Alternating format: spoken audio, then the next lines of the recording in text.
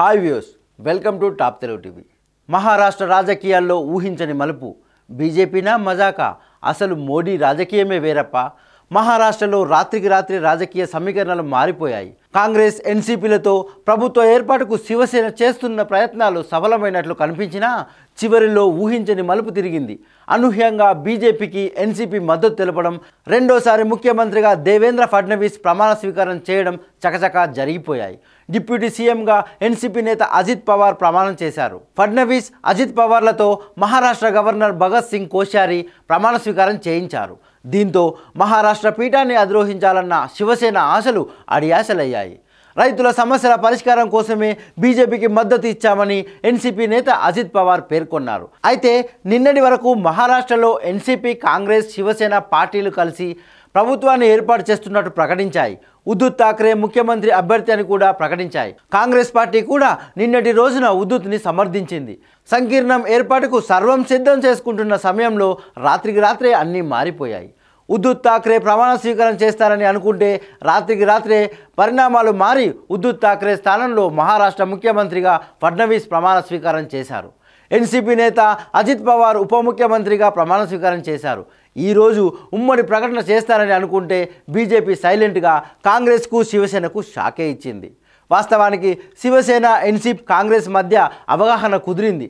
శివసేనకు CM పదవి Congress ఎన్సీపీలకు deputy CM పదవి ఇవ్వాలని నిర్ణయించామని శరద్ పవార్ శుక్రవారం ప్రకటించారు.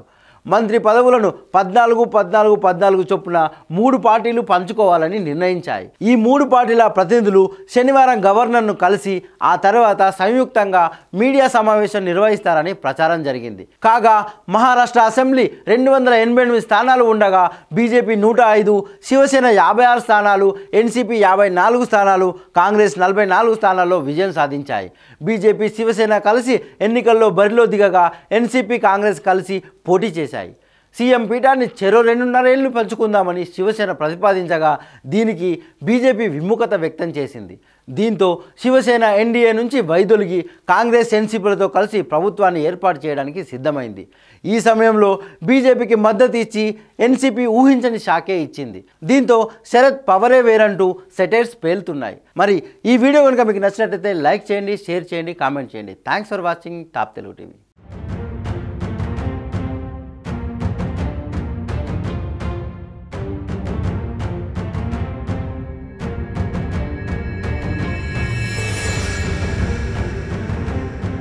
మర్డర్కి సహాయం చేస్తే నీకు ఇరవై ఐదు లక్షలు ఇస్తాను అని రాకేష్ రెడ్డి అన్నాడని నేను అంటాను. ఎలా అన్నా మాట్లాడుకోవచ్చు మీకు నోరు ఉంది మీరు మాట్లాడొచ్చు అడగొచ్చు.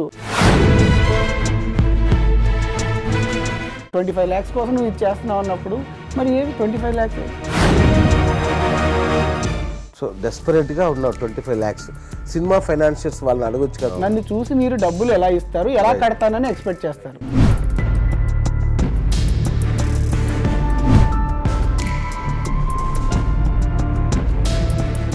ఇండస్ట్రీలో ఇప్పుడు మీరు వెళ్తున్నారు. ఇంకా కూడా మిమ్మల్ని అపరాధ భావంతో దోషులాగే చూస్తున్నారా? లేదా రిసీవ్ చేసుకుంటున్నారా? అవతల వాడు ఇలాంటి ఇన్సిడెంట్ చేస్తాడు అని మనకు ముందే తెలిస్తే మనం వాడి దగ్గరికి ఎందుకు వెళ్తాం?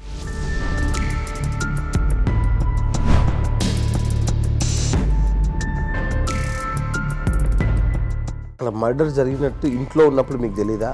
ఏమీ తెలియదు ఎలా జరుగుతుందో తెలియదు పేపర్లో న్యూస్ టీవీలో నాకు ఏం అర్థం కావట్లేదు.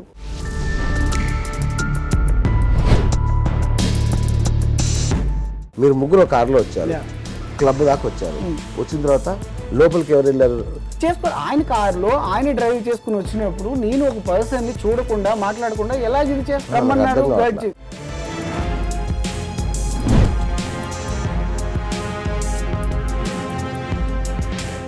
మరి హనీ ట్రాప్ ఇది ఎట్లా వచ్చింది? హనీ ట్రాప్ అసలు సంబంధం లేదు. ఆ మెసేజ్ నేను చేశాను అనుకుని ఫీల్ అవుతున్నారు తప్ప? సరే హనీ ట్రాప్ ద్వారానే జరిగిందని పోలీసులు చెప్తున్నారు కదా మరి. అదే చెప్తున్నాను కదన్నా. పోనీ మీరు ఏదైనా చెప్పమంటే అదే చెప్తాను చెప్పండి. అన్న నిజం ఎప్పుడు ఒకటే ఉంటదన్న. మీరు ఎన్ని రకాలుగా అడిగినా మీరు ఏదో పేపర్లోనో న్యూస్లోనో ఇలా రాసి కథనం ప్రకారం అని చెప్పి క్రియేటివ్ క్యారెక్టర్లు క్రియేట్ చేసి రాసి యాక్చువల్గా అన్ని సబ్మిట్ చేశారు అన్ని ఇచ్చేసారు hmm. అయినా సరే కేసులు ఎలా ఉన్నారు? అయినా కేసులు ఎలా ఉన్నావు అంటే అది జడ్జి గారు చెప్పాలి. ఇండస్ట్రీ ఎలా రెస్పాండ్ అయింది ఇష్యూ ఇండస్ట్రీ ఎవరు దగ్గర రారన్న నిజంగా మాట్లాడే ఉంటారా నలుగురు మెంటాలిటీ ఒక రకంగా ఉంటుంది. రైట్ అంటే చిరంజీవి లాంటి పెద్ద పెద్ద ఆర్టిస్టులు చేశారు కదా. వాళ్ళు ఎప్పుడైనా కాల్ చేసినా ఎప్పుడన్నా ఏంటి సూర్య ఇంత పని చేసావు ఇలా చేసావు? మీరే జడ్జి అన్నారు కాబట్టి మీరు ఏం న్యాయం చెప్తారు దీనికి?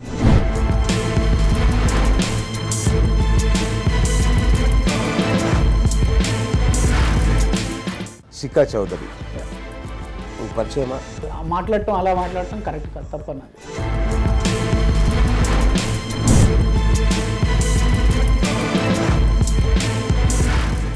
మీ ఫ్యామిలీ రెస్పాన్స్ ఎలా ఉండేది వాళ్ళు నాకు జన్మనివ్వడమే కాకుండా వాళ్ళకున్న సర్వం ఏదైతే ఆస్తులు ఉన్నాయో ఏవైతే ఉన్నాయో అన్నీ నాకు ఇచ్చారు. మిగతా ముగ్గురు ఎవరైతే ఉన్నారో వాళ్ళు ముగ్గురు మర్డర్లో ఉన్నారు. అంటే వాళ్ళకి సంబంధం ఉంది. అన్న చెప్తున్నాను కదా వాళ్ళకి ఉందో లేదో అన్నది నాకు తెలియదు నాకు జరిగిన ఎపిసోడ్ నా ఫ్రెండ్కి కానీ నాకు కానీ తెలిసింది ఇదే. నేనే త్రీ టైమ్స్ కలిసినప్పుడు పాప నా వల్ల కూడా వాడికి లైఫ్ ఎంత ఇదన్నా?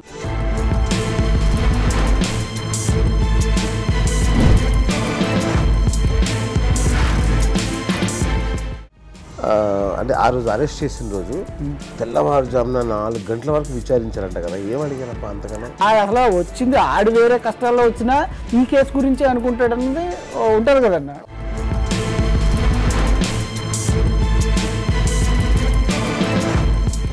వచ్చింది. యాభై సినిమాలు చేసినారు ఆయన పబ్లిసిటీ. అన్న, రోజుల్లో రచ్చ. ఆ టైంలో ఎలా అనిపించింది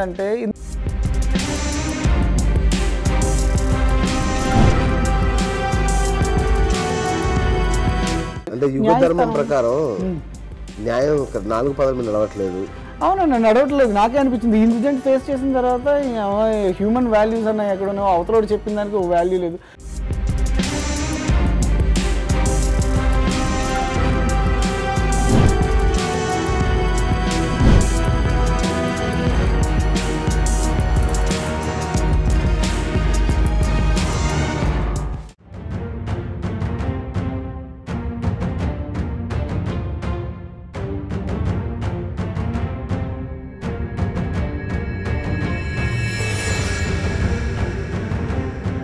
మన టాప్ తెలుగు టీవీ షేర్ చాట్లో అలాగే డైలీ హండ్ న్యూస్ యాప్స్లో కూడా ఉంది.